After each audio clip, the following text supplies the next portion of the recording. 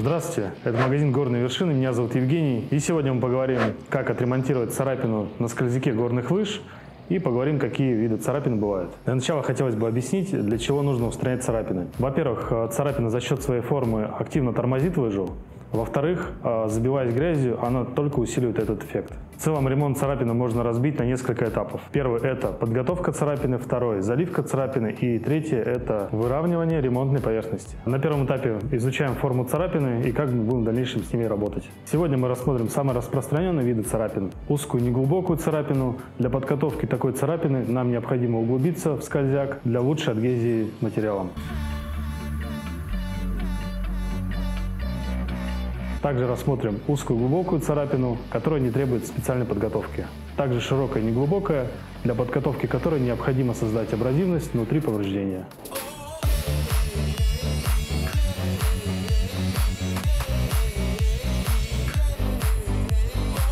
А также существуют царапины хаотичных форм.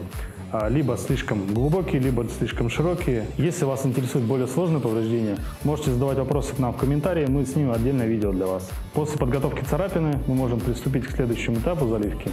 Для заливки царапин используем кофекс. Для его плавки используем специальный паяльник, но в домашних условиях можно использовать обычную зажигалку. Но паяльником получается более качественно.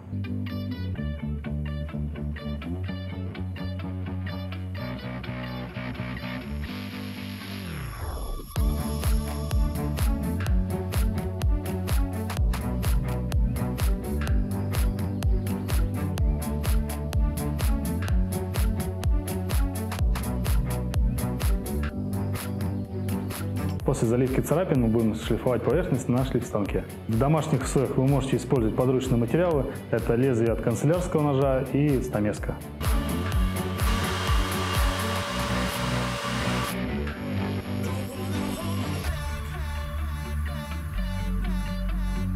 Важно учесть, что при последующей обработке парафином скользяка нельзя использовать грубую щетку, потому что она может сдирать ремонтный материал. Используйте более мягкую щетку.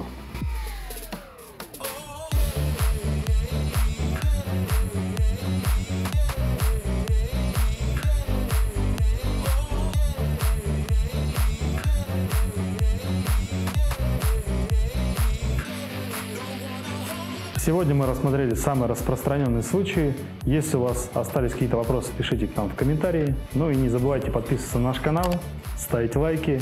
Это был магазин «Горные вершины». Меня зовут Евгений. До новых встреч!